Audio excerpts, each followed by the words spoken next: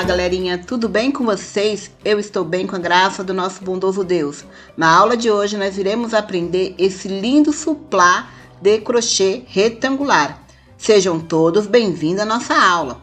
Vou pedir para você que ainda não é inscrito no canal, se inscrever, ativar o sininho para receber as notificações e seguir o nosso perfil lá no Instagram, que é arroba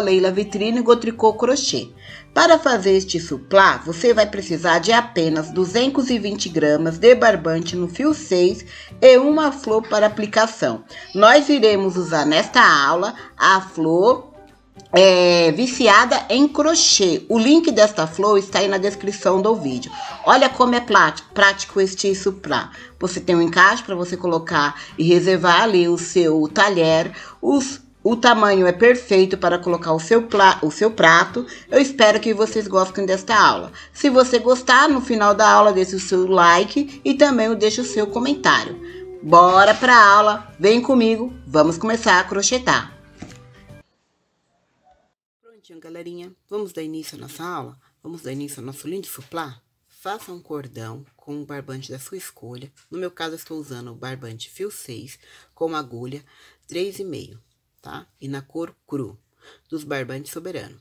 Agora, eu vou levantar 23 correntinhas. Uma, duas, três, e assim nós vamos.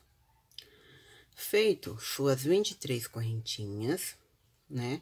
Aí, você vai pegar, vai subir mais três. Uma, duas, três.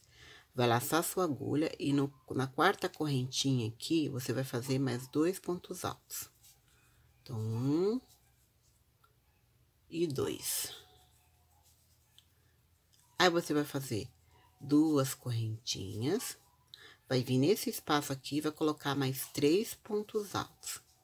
Um, dois e três. Vai fazer duas correntinhas, vai vir nesse espaço e vai colocar mais três pontos altos.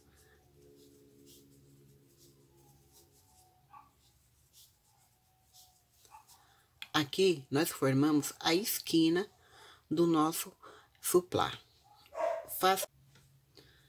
Aí, você vai pular um pontinho e vai fazer um conjuntinho de três pontos altos. Um ponto para cada ponto, ó. Um,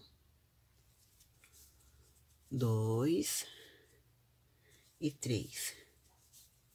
Aí, vai fazer uma correntinha, vai pular um ponto vai vir no segundo ponto e vai fazer novamente um conjuntinho de três pontos altos, sendo um ponto para cada ponto.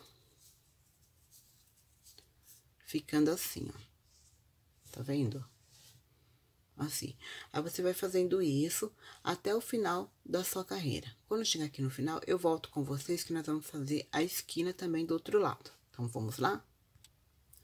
Estamos agora com um, dois, três, quatro, cinco conjuntinhos e sobrou duas correntinhas aqui no final. Você vai fazer uma correntinha e nessa última correntinha aqui, você vai fazer três pontos altos. Um, dois e três. Aí, você vai fazer duas correntinhas e na mesma correntinha, você vai fazer mais três pontos altos. Um. Dois. E três. Aí, duas correntinhas e mais três pontos altos no mesmo local. Um. Dois.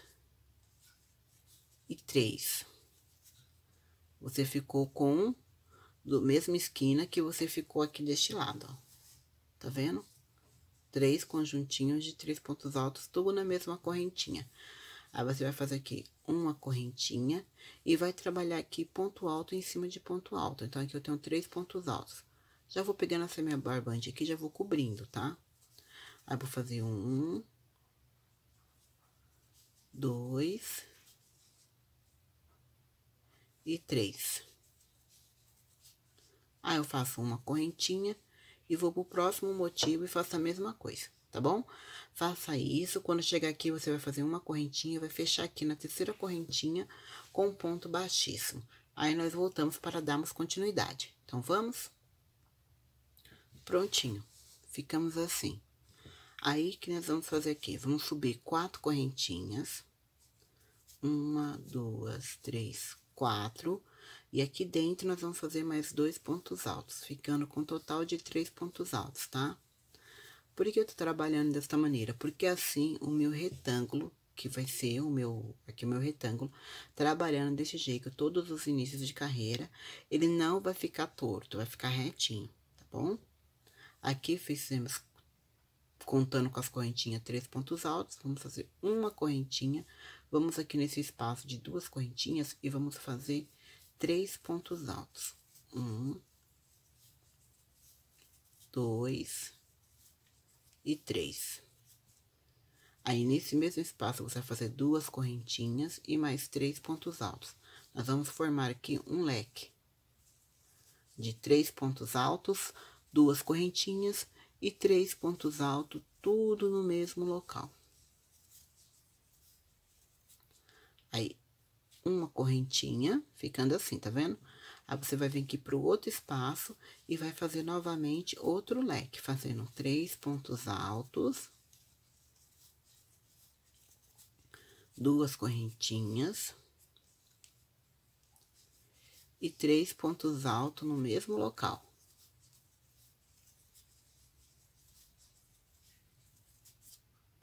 Ficando assim, a nossa esquina. Tá vendo? Aí, aqui você vai fazer uma correntinha. Vai vir para esse espaço de uma correntinha e vai fazer três pontos altos. Então, presta bem atenção, ó, uma correntinha, vai para o próximo espaço e vai fazer três pontos altos. É um retângulo espelho, tá? O que nós trabalhamos aqui, nós vamos trabalhar também do outro lado. Então, o que você fazer aqui comigo, você vai fazer do outro lado. Ó, fizemos aqui, na nossa curva aqui do nosso retângulo, dois leques. Você vai vir aqui também, depois, quando você chegar aqui, Agora, você vai vir caminhando. Uma correntinha, três pontos altos, uma correntinha, três pontos altos, nesse espaço de uma correntinha.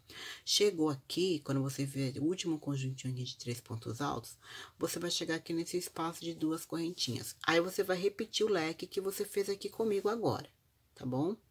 Repetindo o leque, o que, que você vai fazer? Vai vir aqui na lateral e vai fazer a mesma coisa que você fez aqui. Então, aqui nós vamos ter dois leques, como nós temos aqui tá bom? As duas correntinhas é apenas dentro do leque. No espaço aqui sempre será uma correntinha. Você vai vir fazer, vai finalizar aqui, após ter feito aqui três pontos altos, você vai finalizar com ponto baixíssimo na terceira, aqui na última correntinha, né? Que no caso será a nossa quarta correntinha, porque a primeira não dá pra ver, então vai ser a terceira, tá vendo? Uma, duas, três. A primeira aqui não dá porque nós estamos colocando ponto aqui nele, aqui. Você vai vir aqui nessa última correntinha e vai finalizar com ponto baixíssimo.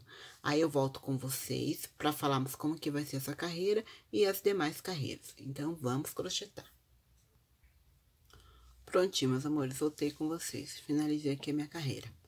Agora, vamos prestar bem atenção, porque depois vocês vão fazer sozinhos, tá bom?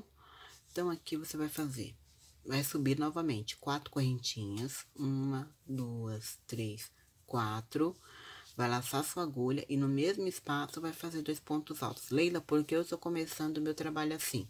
Para que o seu retângulo não comece, não fique torto.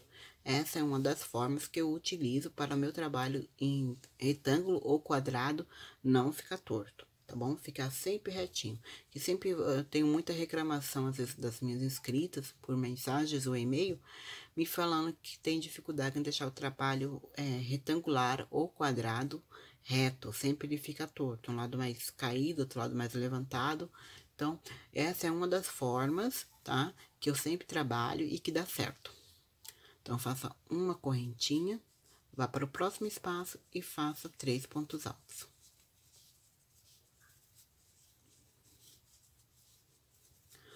Uma correntinha, chegamos no leque. O que nós vamos fazer no leque? Sempre fará outro leque, até o final, tá bom?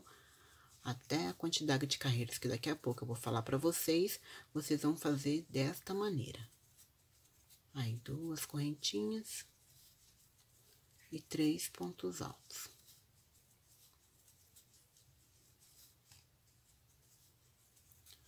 Feito o leque, você vai fazer uma correntinha, vai laçar sua agulha e nesse espaço aqui de uma correntinha, vai ter três pontos altos.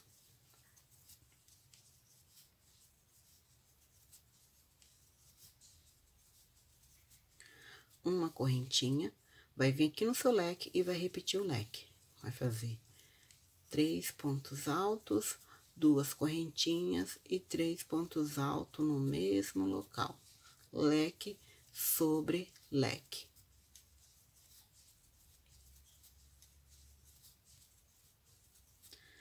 Uma correntinha, temos espaço aqui de uma correntinha. Vamos fazer três pontos altos.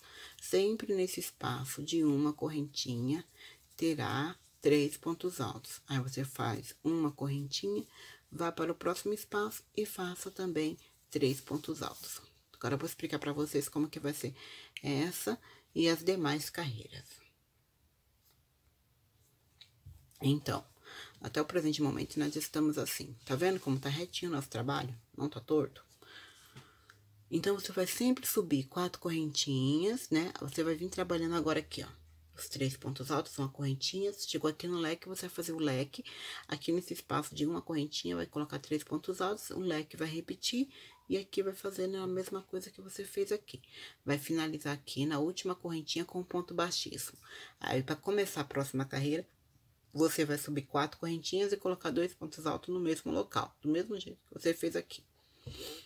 Uma correntinha, três pontos altos. Uma correntinha, três pontos altos. Vai chegar aqui no seu leque, vai repetir o leque. Reparem que na carreira anterior tinha apenas um espaço. Nessa carreira que nós estamos iniciando, temos dois espaços. Ou seja, na próxima carreira que você fizer o leque aqui, aqui em cima vai ter um dois conjuntinhos de três pontos altos, separados por uma correntinha de cada lado. Aí, na próxima carreira, vai ter três, depois quatro, depois cinco, assim vai aumentando um conjuntinho de três pontos altos a cada carreira, porque assim nós estamos aumentando um espaço também. E o leque vai continuar leque sobre leque. E a nossa lateral vai continuar em cada espaço de uma correntinha, será três pontos altos. E assim nós vamos fazer. Leila, quantas carreiras eu vou fazer neste suplá? Aqui no meu caso, eu vou fazer oito carreiras a partir daqui, ó, tá? Com essa aqui, vamos contar nove, ó. Uma, duas, três, quatro. Tô fazendo a quarta, tá vendo, ó? Uma, duas, não, tô fazendo a terceira. Uma, contando daqui, ó. Tá vendo? Que é as duas carreiras que nós fizemos paralelas. Então, estamos aqui uma, duas, três. Aí, quatro, cinco, seis, sete, oito, nove. Faltam ainda seis carreiras. Eu vou finalizar essa e vou fazer mais seis carreiras, tá bom? Aí, eu volto com vocês para darmos continuidade e fazemos o porta-talher e também fazemos o biquinho também. Prontinho, pessoal, já voltei aqui, já terminei todas as minhas carreiras, ó, fizemos é, oito, é, nove carreiras, né? Contando com essa aqui, ó. Uma, duas, três, quatro, cinco, seis, sete, oito, nove. Nove carreiras. Então, agora nós iremos começar o nosso biquinho e já tá quase terminando o nosso lindo suplá. Muito fácil, rápido e gostoso de fazer. Então, vamos lá? Você vai pegar aqui onde você terminou, tá? Aí, você vai caminhar com ponto baixíssimo até esse espaço de uma correntinha.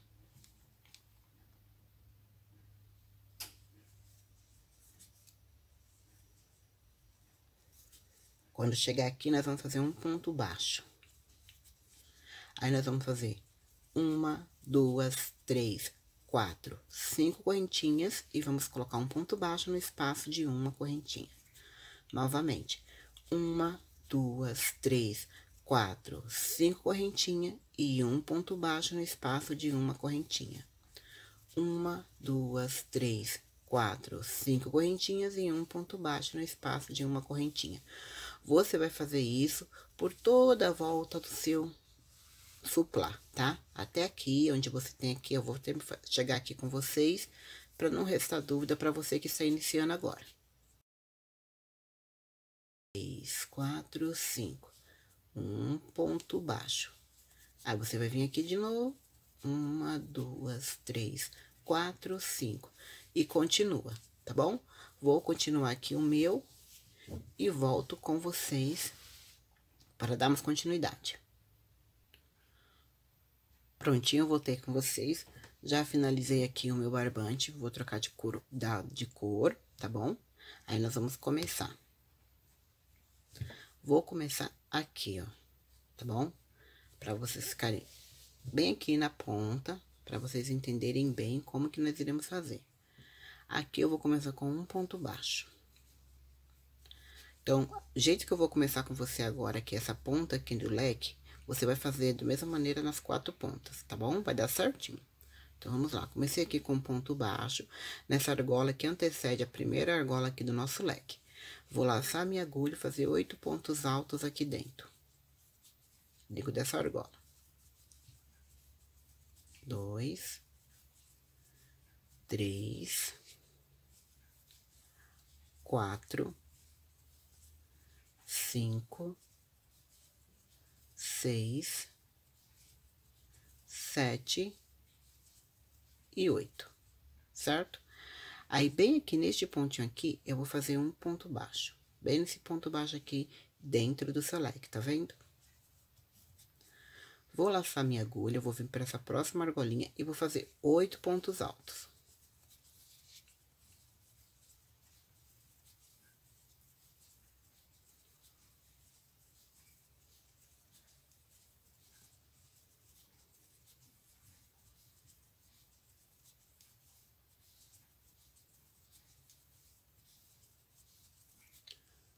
Certinho. Vou na próxima argola e vou fazer um ponto baixo. Então, na nossa curva, nós não, não fazemos uma argola com ponto baixo e uma argola com os pontos altos. Aqui nas duas curvas, as duas argolas que estão uma de cada lado do seu leque, elas duas terão oito pontos altos, tá bom? Aí, agora, a partir de agora, você vai fazer um ponto baixo e uma argola com oito pontos altos. Um. E oito. Oito pontos altos, vou na próxima argola e um ponto baixo. E aqui eu volto a fazer os meus oito pontos altos, tá bom? Então, vai ser assim, um ponto baixo, oito pontos altos, um ponto baixo, oito pontos altos. Quando eu chegar aqui no meu leque, o que, que eu vou fazer? Oito pontos altos aqui, aí meu ponto baixo não vai ser direto na argola, meu ponto baixo vai ser aqui em cima do ponto baixo. Vai dar a contagem certinho, tá? Não se preocupem. E aqui também, oito pontos altos, tá certo? Vou fazer aqui o meu, já retomo com vocês no final dessa carreira, para nós fazermos o nosso porta-talhar, tá bom? Prontinho, voltei com vocês, ó. Já finalizei, fiz toda a minha volta dos meus arquinhos aqui na minha, no meu suplá. Agora, nós vamos fazer o porca-talher. O porca-talher eu vou fazer ele de duas cores. Então, nós vamos aqui pegar a Vou começar com a cor cru. Aí, eu vou fazer aqui agora quatro correntinhas. E vou fechar formando um anel. Então, uma, duas, três, quatro. Aí, nós fechamos na primeira correntinha. E formamos um anelzinho.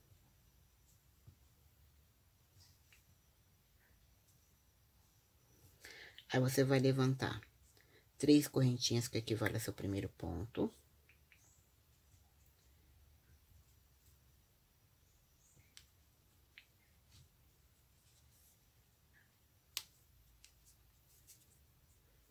Uma, duas, três.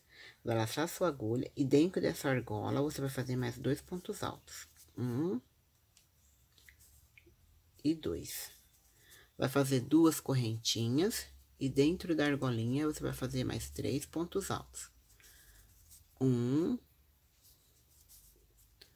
dois e três. Duas correntinhas e mais três pontos altos. Um, dois e três. Duas correntinhas e três pontos altos.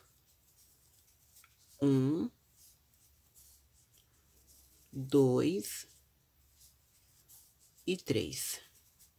Duas correntinhas, laça sua agulha, e laça não, vem aqui, né, na terceira correntinha e feche com ponto baixíssimo.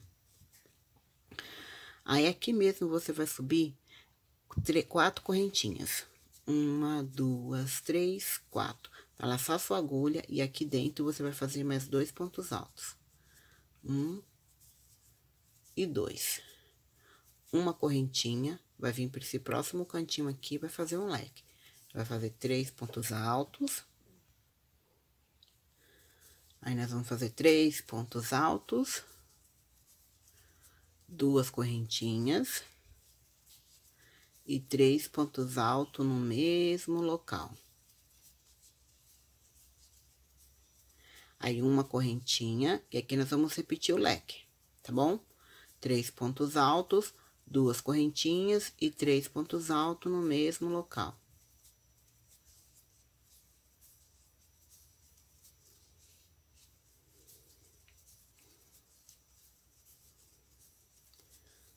uma correntinha e repete o leque aqui.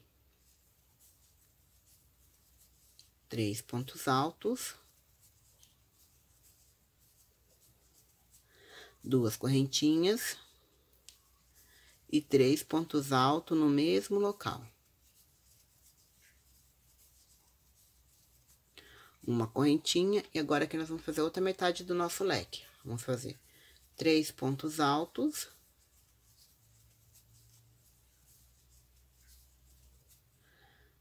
duas correntinhas e finaliza aqui com um ponto baixíssimo. Tá certo?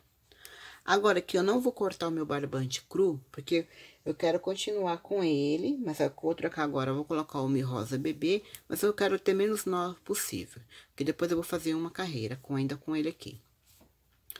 Então, tá bom? Então, eu vou deixar aqui assim, aí eu vou vir aqui, ó, Vou caminhar. Aqui eu vou caminhar de qualquer jeito, porque eu não quero cortar o meu barbante, tá? Vou caminhando com ponto baixíssimo. Quando chegar aqui, eu deixo meu barbante cru de lado. Pego meu rosa bebê e puxo ele aqui junto, ó. Tá vendo? Assim, puxei junto, ó.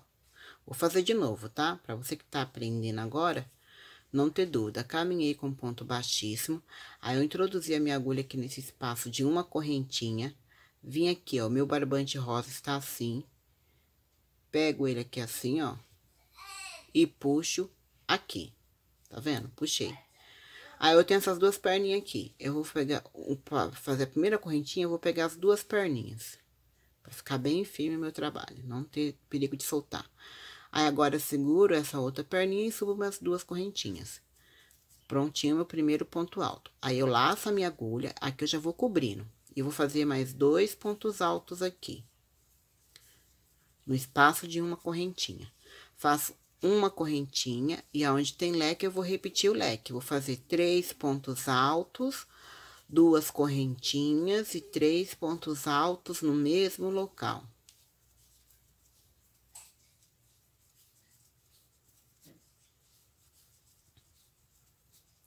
ficando assim. Aqui o espaço que eu tenho de um, eu faço uma correntinha, e esse espaço que eu tenho de uma correntinha, eu vou fazer três pontos altos. Um, dois e três.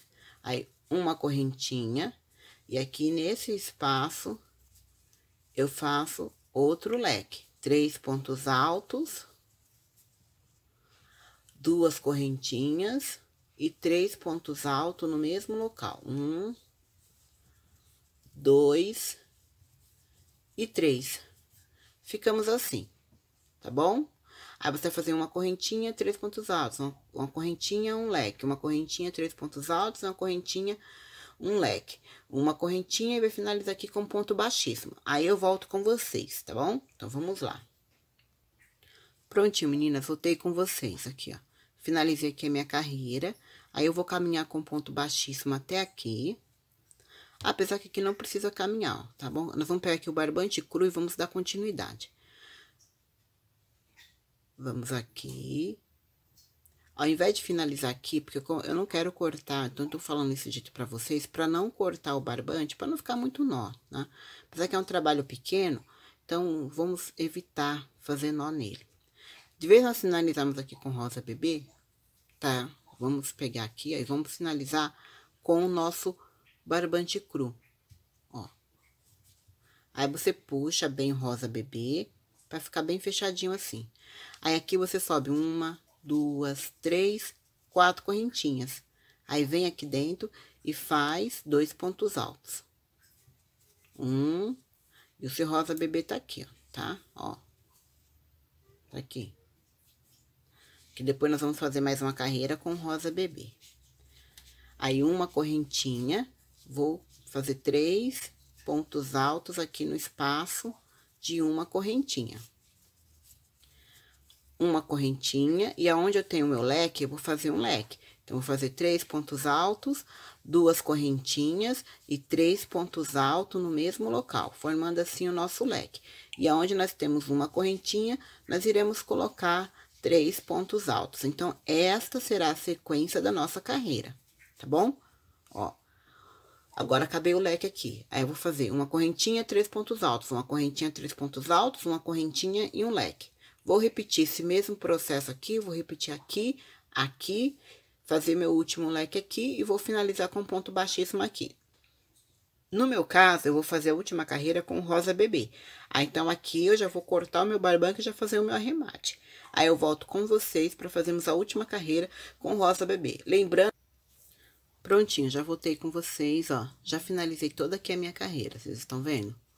Aí, aqui eu já fiz o meu arremate, cortei o meu barbante cru, tá? Passei ele por aqui, já dei um nozinho, já cortei ele aqui. Agora, que eu vou fazer? Com o meu barbante aqui mesmo, no, no pink, aqui no do rosa bebê, bem aqui, tá vendo? Aqui nós temos um, dois, três. Eu vou aqui no do centro e vou subir três correntinhas, ó. Tá vendo que ele já tá aqui na carreira anterior, então eu só peguei ele aqui assim, ó. Tá vendo? não cortei. Se você cortou, você vai dar o seu, vai dar o seu nozinho, vai subir três correntinhas, tá? Ó, uma, duas, três. Fiz três correntinhas. Vou fazer mais dois pontos altos. Um e dois.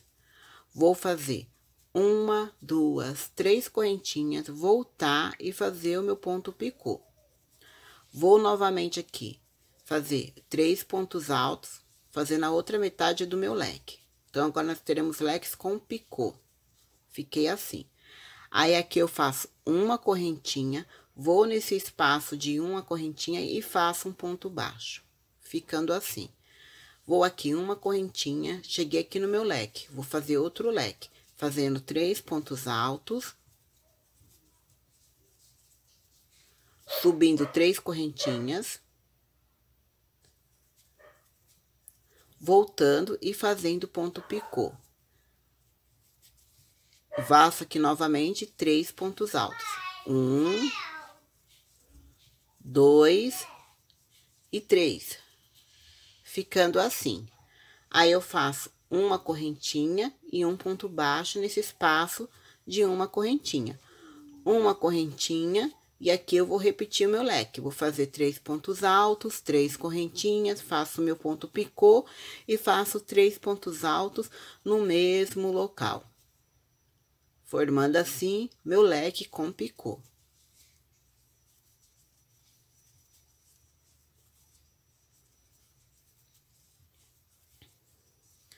Aí, eu faço uma correntinha, venho aqui e ponho um ponto baixo uma correntinha, cheguei no meu leque. Vou repetir o mesmo processo, tá bom?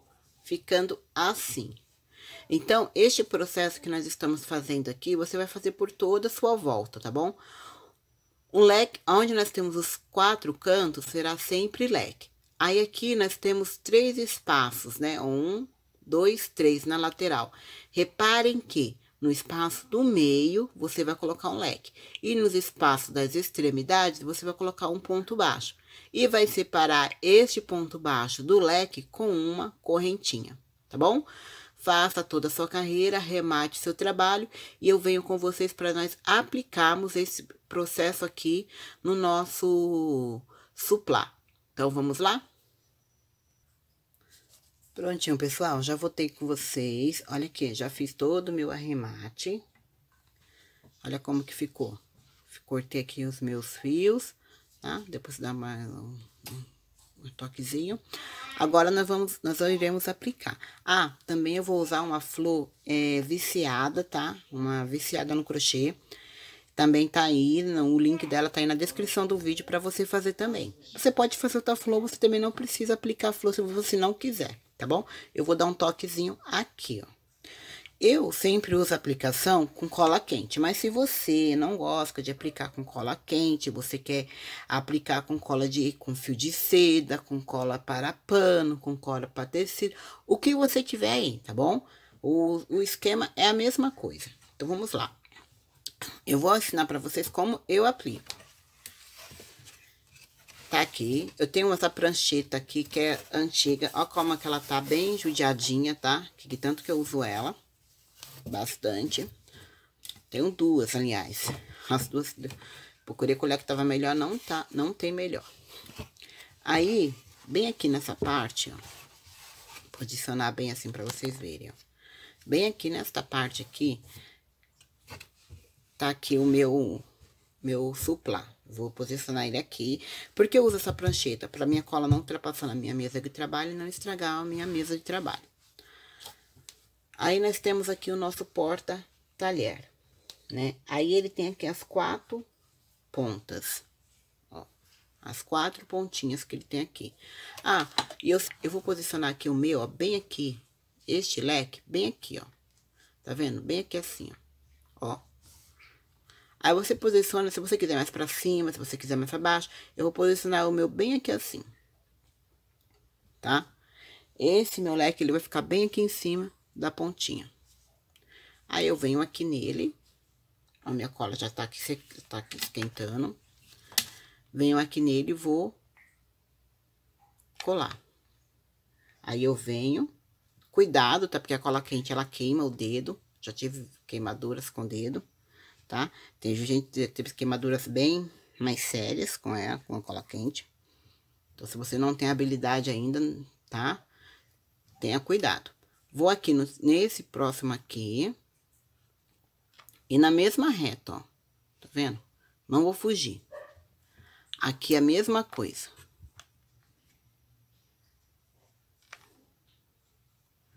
Pra ficar retinho o meu trabalho. Aí, se eu quiser, eu posso colocar mais um pinguinho aqui assim, pra colar bem aqui os cantinhos. E se você sentir, depois você pode passar pontos aqui em volta dele aqui, ó.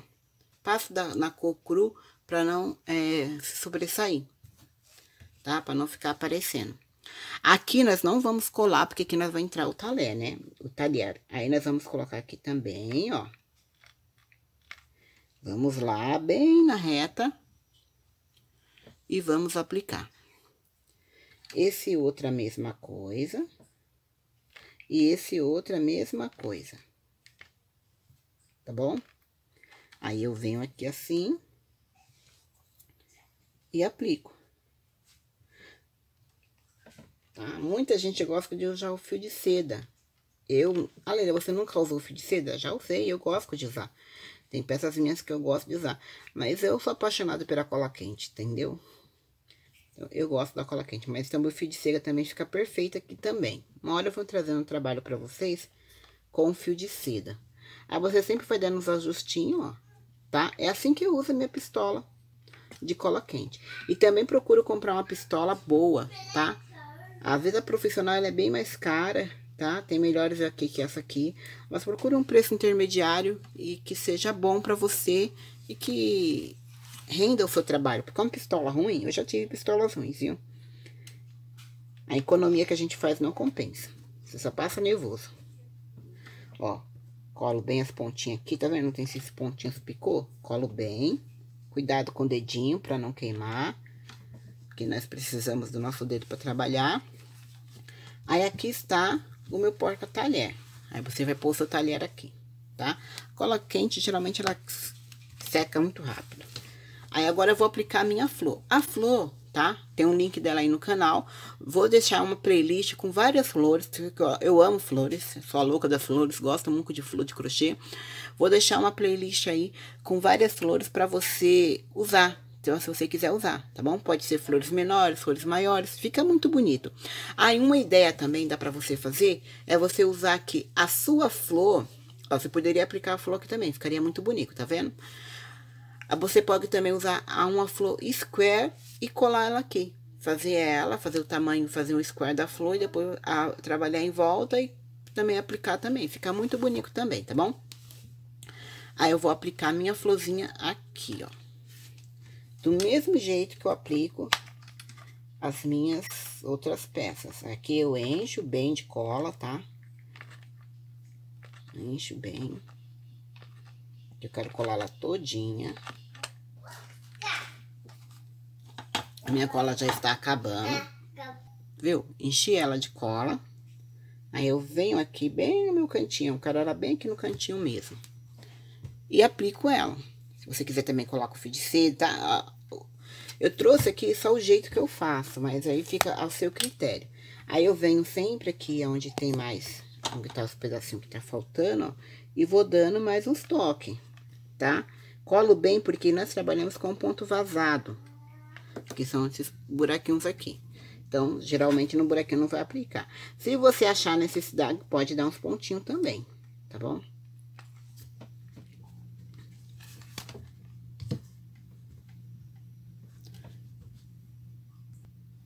Então, meus amores, por hoje é só. Eu espero que vocês tenham gostado da nossa aula. Olha como que ficou bonito o nosso porta, o nosso suplá com porca-talher, né? Decorado. Uma mesa fica linda com isso aqui. Uma dica que eu dou pra vocês, aproveitando essa quarentena que nós estamos aqui agora, todo mundo em casa, você pode fazer esse suplá com cores diferenciadas para cada membro da sua família.